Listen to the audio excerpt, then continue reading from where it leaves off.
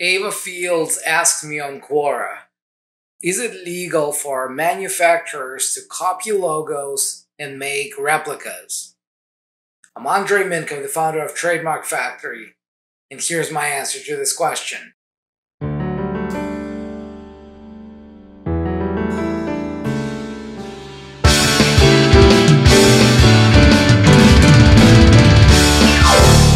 No, that's kind of the whole reason why trademarks exist to make sure that nobody can take your name, take your logo, take your slogan, take your tagline, and slap it on their replica, slap it on their products.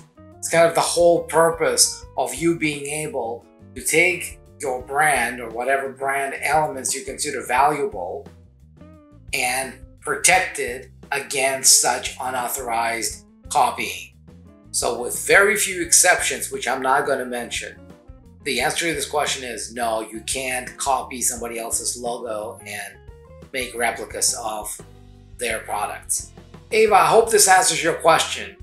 And if you found this video useful, if you found it interesting, subscribe now, get notified whenever the next one goes live.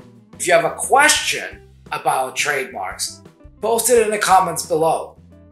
And who knows, I might answer it soon. And until then, I'll see you in the next video.